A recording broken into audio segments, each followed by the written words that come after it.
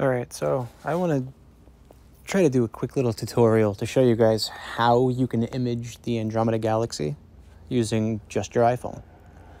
Um, basically, you want to be in a completely dark area. Doesn't have to be crazy, crazy dark. Just a lot of city pollution is gonna gonna hinder it a bit, but you just gotta work with it. Okay. So first of all, you know you've you've got the phone out. You can see there's plenty of stars. Even though I got some light right there, it's still a situation where you can you can definitely still find it. Okay. So first of all, what I want to do, which is actually if you get if you look here, you got Jupiter in the sky and Mars is actually right there in the center of the frame. Um, you'll notice I'm on photo, not video. Um, this is going to be a night exposure.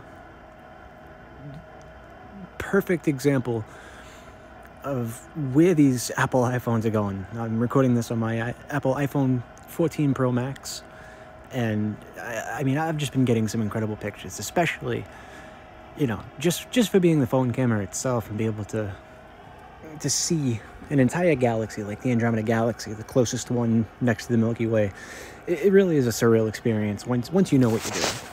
Um, I'm gonna exit out of here real quick, and I'm gonna go into my sky map. That way, there I can actually show you. You know, because you want you want to make sure that you're looking in the right spot, right? Oh, look, see there, I could prove it. There's Mars right there. Go back up this way where I just was. Jupiter. Neptune would be great to see, but you can't see that with the naked eye. It's just too far away. But we're going to look Andromeda galaxy. It's going to point us. So it's basically right overhead. Okay? So now I know where I want to shoot. Right? I can get out of this app. Go back into my camera app now, one of the things you're going to need is a basic little tripod. It, it, doesn't take much just to steady it because you really need a long exposure with these night mode shots, right? You just want to let in as much light as possible.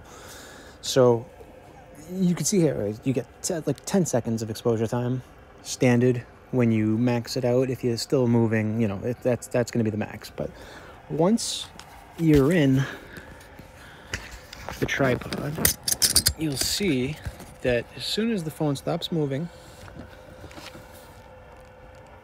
there we go, come on, fix the tripod a bit. You notice it goes to 30. So now, what we're gonna do is get the image straight up in the air.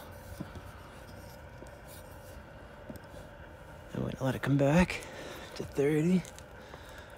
And now, what you want to do is you want to actually tap on the screen and you want to raise to let as much light in as possible on these exposures, right? You can do it when it's dark, but it'll be a little bit harder to spot. So now, set this again, let it get back to 30.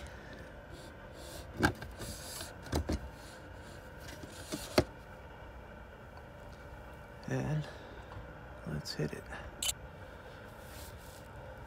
You see how it's how it's gonna take about 30 seconds total time. I'm just gonna wait. It really is a beautiful night to be looking at the stars. Just an incredible process. It's incredible the amount of light that this thing actually lets in. You could just so so many stars that you can't see with the naked eye right now due to light pollution in these night mode shots is just incredible. So here we go, finishing up. Now I'm gonna remove. And now we're gonna go in and check out this image. And I've managed to nail it perfectly, almost center. We're gonna zoom in right here. And just like that right in the center of the frame. Absolutely beautiful. And you could, I mean, you could tell how how different it is amongst the rest. Now, I did have a better photo last night. Just uh, it was a bit more clean. I'm not, I'm not sure if there's any difference in the sky tonight. Maybe maybe a few more scattered clouds. So what I'll do is actually come in and show you what I managed to catch. Sorry guys, you don't need to see any of these. Here we go. So this was last night actually. Where I actually managed to catch it was a little bit earlier in the night and you got Jupiter that was actually right there with it. And sorry, that's my daughter.